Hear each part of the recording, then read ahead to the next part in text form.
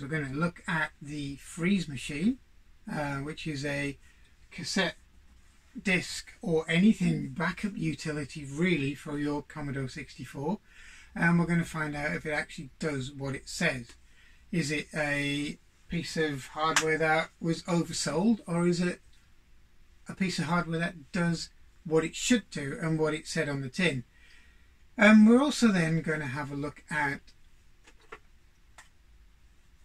Star Force Fighter at the end of it on part two because it's a game that has a surprising loading element to it, which is something you don't see nowadays, and uh, it's something that I feel, you know, really shouldn't be lost on you know everyone who's into these classic machines, and it shouldn't also be lost be lost on the current generation of point click and done users because it's part of um, kind of part of the history of these machines and how they programmers got round you know the boredom of waiting for long loading intros. Today we're going to look at the um, trusty old Commodore 64C today. It's not so much the computer, it's this piece of kit called the Freeze Machine. I don't think there were many of these made and or produced or bought to be honest because I think they were quite expensive. But if you have a look at it on the back of the machine, it has two buttons on the back, one's freeze and one's reset. Quite explanatory, self-explanatory really, but we'll come to what these buttons do in a minute. It's meant to be used with tape, which is one here, or good old 1541 disk drive. But what I'm going to do is um, I'm not going to use the 1541 disk drive because I'm actually going to start using more modern kit on this machine and uh, it will be an SD drive for this. It's basically a bare SD drive which I'm going to use and configure for this machine. So as you can see alongside the um, freeze cartridge is a, a bare SD drive plugged into the serial port and it's powered from the cassette port down here. So we're going to use this. I'm going to load a game and save a game off of this um, because mainly because cassette tapes take a while but we're going to come back to the cassette tape in a little while for part two of this. Now when you power on the machine now it's got a, an SD drive in it so what we're going to do um, is we're going to just show you what happens when we power on this machine from scratch. You'll get the same screen.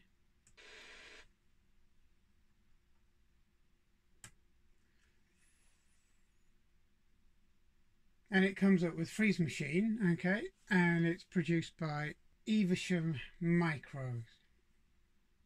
Now, first thing you're going to do is you notice you can go straight to basic okay? You can um, pokes and restart. Basically that allows it clears the registers that it uses for this machine so it couldn't it's not going to interfere with any software. And then you've got directory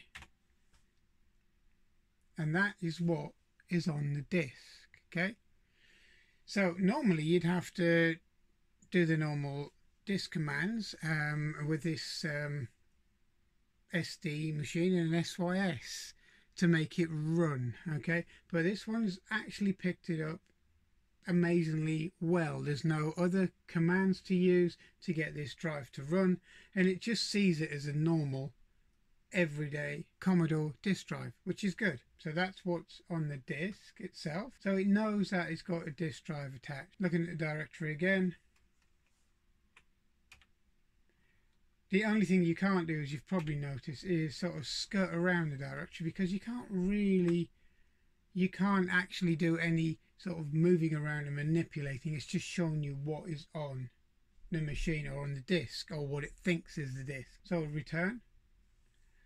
Now, if I press I, it'll install a laser boot to the um, disk drive. I don't particularly want to do that. I know it's fast loading, but I've got other stuff on here which I need to use with other machines. So I'm going to stay away from the laser utilities at the moment. because it does the same. It's just a very quick loader, but it uses a lot more disk space. So I'm going to go to basic. So what we're going to do is we're going to load in everything from the drive. Okay, so it's coming up. So if I type run, there we go. And what it's done is what you see here is not normal, okay? Because, as I said, what you see here is not usual because when you run a, an SD drive, one of these on its own, you have to type in an SYS command to actually make it run properly and to see it and use the drive properly. Now, with the freeze machine in, you've got instant drive, which is brilliant. So if I go to games now,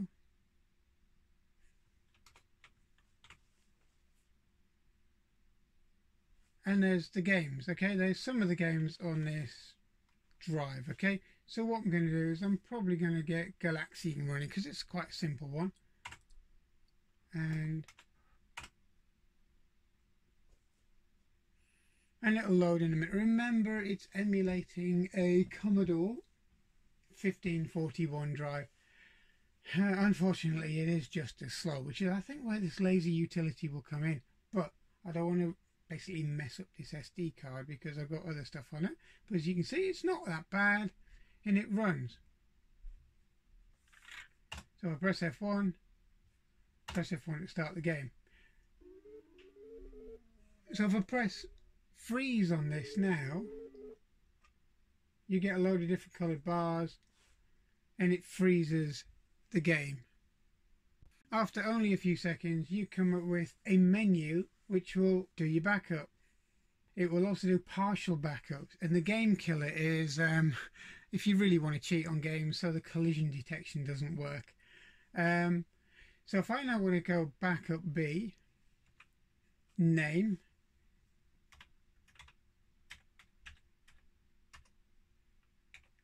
okay, Galaxians 1. Now it says output device, okay, so normal disk. So we'll try normal disk 1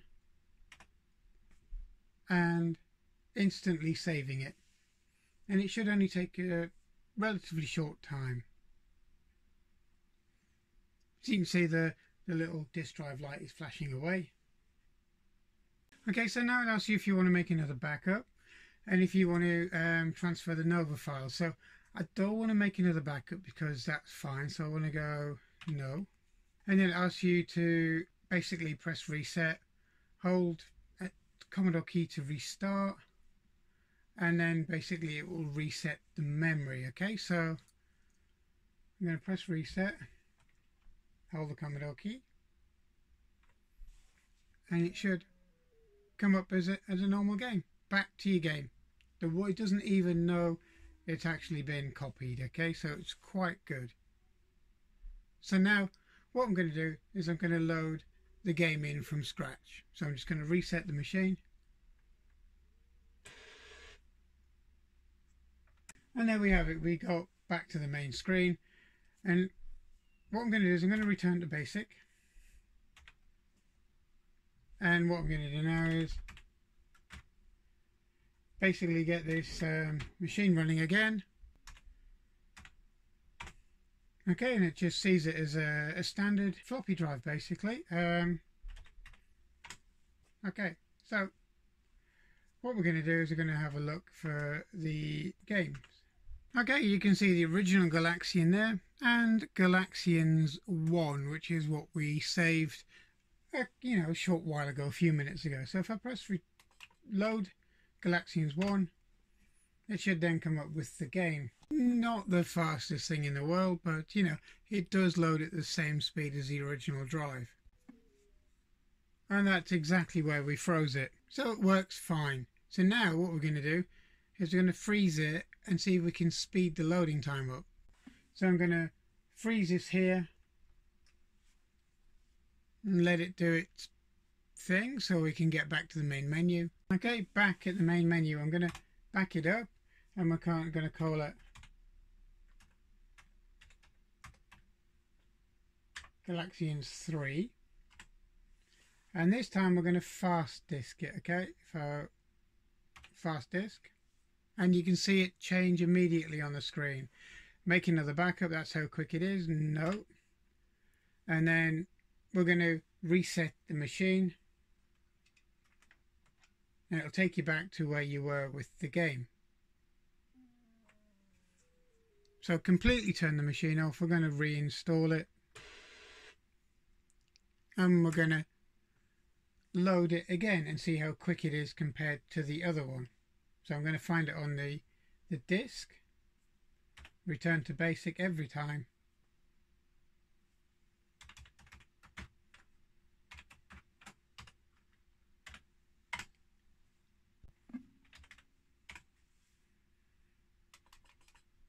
I'm going to go straight for games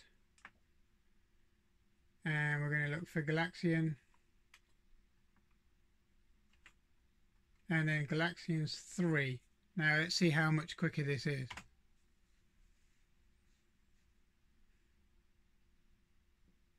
So this is real time loading this game. Okay, and it just starts off where it's finished. Okay, so it uh, always just takes a snapshot of where you were. Now, the freeze machine has a few limitations with modern SD cards. The um, the fast loader, yeah, it kind of doesn't work all the time, okay? Um, because what you need to do is you need to actually set the disk up as a fast loader, but it would set the whole SD card up as a fast loader, which is a bit silly, really, especially if you've got a lot of programs on it. But it does work, and it installs things like you know, small programs like Galaxians and stuff like that in not even a third of the time. It's really, really quick. And you've got your loader directory here. So if I wanted to do zero, you can see that's a program and basically it tells you everything that's on here and you can sort of skip around and do what you want to it load it install it and so on but the biggest problem we have with this is that it's not particularly set up for modern kit.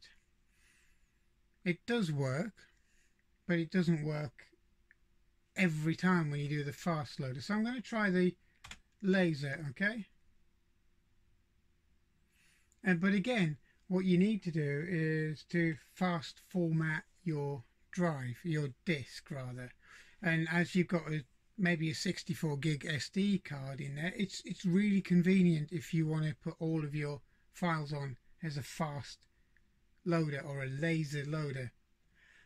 But using fast loaders or laser loading on a SD that you really want to use for other stuff, it's not convenient because it won't be read by anything else. Okay, so anything you put on there that's not formatted or or hasn't been converted to a laser format if it was on laser disc on the laser formatting disc on this or the fast formatting disc um, then it won't work okay so it's really good I mean it's a really good system of copying data and copying programs. And what I'll do is I'll also show you a few of the other features now. So we'll just um, go over them. So if I return to basic, okay, just return to normal basic and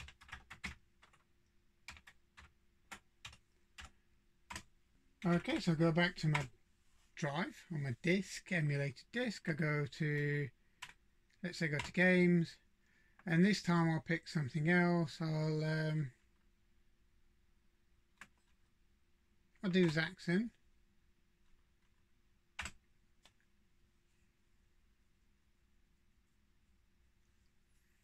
and just let that install. Okay, so this is Zaxxon installed. It's quite an early game. And now if I want to freeze it,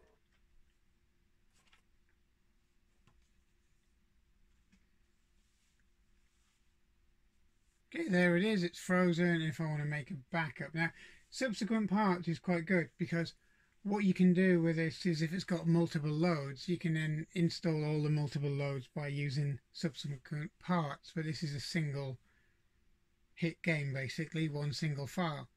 Once you've loaded your subsequent parts, then when you save it as a backup, you do the transfer Nova files, which are all of your subsequent parts on here. But if I want to do Game Killer, and if I want to take both the collision and the sprite collision off, you see, and then I can save the file onto your hard, well, onto your emulated floppy drive, and nearly said hard disk there, and um, then when you load this back in, you've got no way of killing yourself, so you can zoom through the entire game without having a problem with, you know, being killed or extra lives and so on. Which is quite good, really. You know, if you wanted to kind of cheat on a game. And your fast load utilities, you have um, fast format, which you can format your, your disk quick format basically, like you would in DOS. Um, instant copy. Copy the program that you want to copy, such as a disk, etc. And um, so if we go to enhancement and the enhancement system, the enhancement allows you to copy over protected files as well. So it's kind of an all-in-one unit. So as we turn back to the main screen, it's literally an all-in-one piracy unit. Really, it will pirate just about anything. Okay, it will copy them, allow you to cheat, allow you to make backups, as they say, of your own software. Um, kind of doesn't mean you pass it around your friends and get all of their software as well. But um, it also allows you to install fastboot and laserboot disks, which is um, really, really good, especially if you're using an original 1541 drive without any any expander cartridge. So this is a really, I mean basically it allows you to do most things and I didn't think it was going to be as useful or as good as it is. It copies everything absolutely spot on, no problems. It works with modern hardware, which was good. And I actually thought it was going to be a, a medicine man piece of hardware, very similar to the Hypertape, which um, you know you probably see in one of my previous episodes. But this isn't this works. This is genuine. It's good. And um, I would suggest if you do get one and you want to back up maybe some of your own software, some of your disk software, um, or even some of your tape software to a modern format, then I would highly recommend it. But the only thing you really should be doing is trying to get a disk or an emulated disk drive, um, IEC drive, to um, allow you to power it not from your cassette port but from a separate power supply because if you do that you'd be able to then copy your cassettes straight onto the disk drive, the drive, because it's already in memory. You could, in theory, unplug the cassette while it's switched on, which is not a brilliant thing to do, um, and then swap it over for, to power your drive. Um, but try and get an externally powered one, okay? Um, and that would solve all of the problems, and it would be a great asset, one of these, to back up your cassette software. Okay, so that was the Commodore 64 and the freeze machine, I actually think it was a brilliant piece of hardware. You know, the ethics behind it were probably not as brilliant because in the day um, there was a lot of problems with piracy, and um, I think it would have been frowned upon. You know, the company that built it um, did a really good job with it, and it does everything that it said it would do. In fact, it works with modern hardware, which is a bonus for something that's, you know, three plus decades in age. And it could be useful today. I mean, you could back up your cassettes if you, you know, you've got an external floppy drive emulator with a an external power supply on it, so you didn't have to hog up the power lines from the cassette port, and um, I think it would be a very good addition to your computer collection. And it will also allow you to back up other disks and other formats. As long as you can get it in memory on this, it will back it up, which I think is um, quite a neat thing.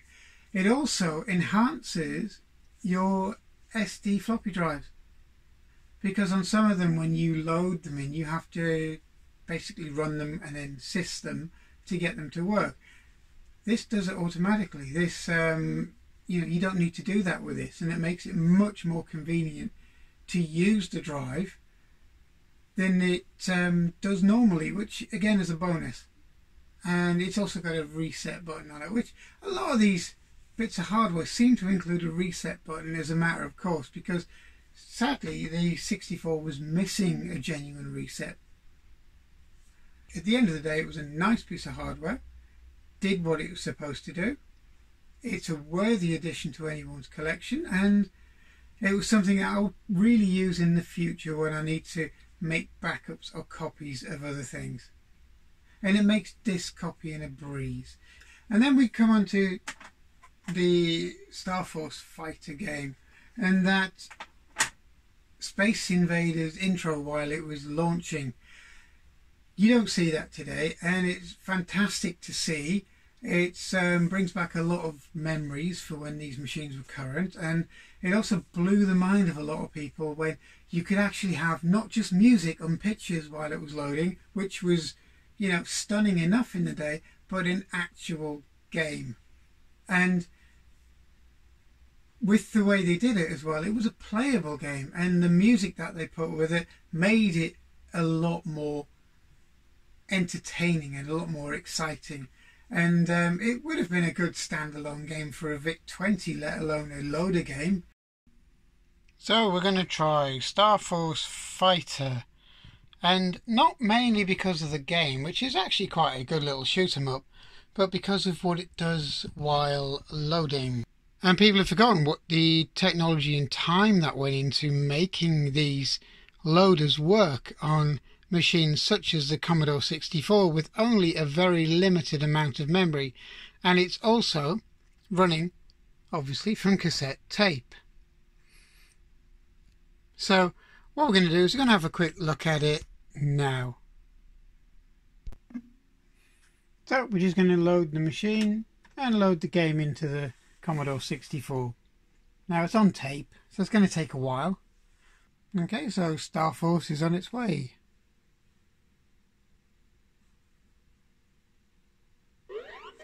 And within seconds we have the game.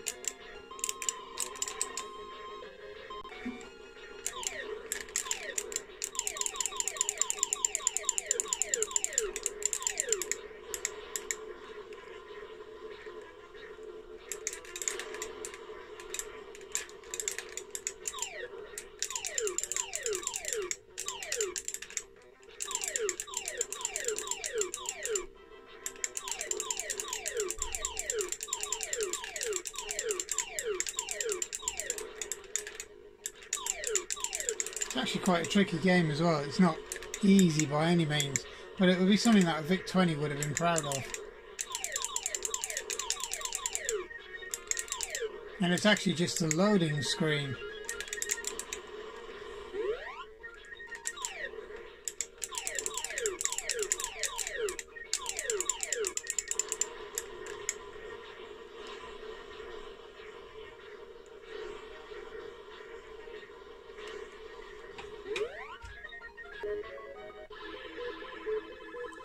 Then the game itself.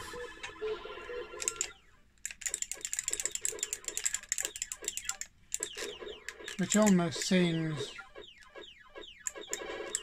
less frantic compared to the um, loading screen or the loading game.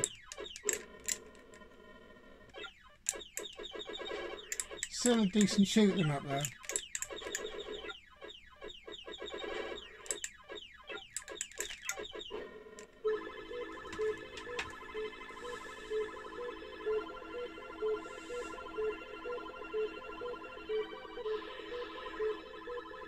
Hope you've enjoyed this. I hope you've enjoyed watching this and seeing what we can get up to with these classic machines. and I hope you join me on this channel in the future. Okay, so if you'd liked it, hit subscribe, and I hope to see you again on this channel. Thank you, thank you for watching. See you later.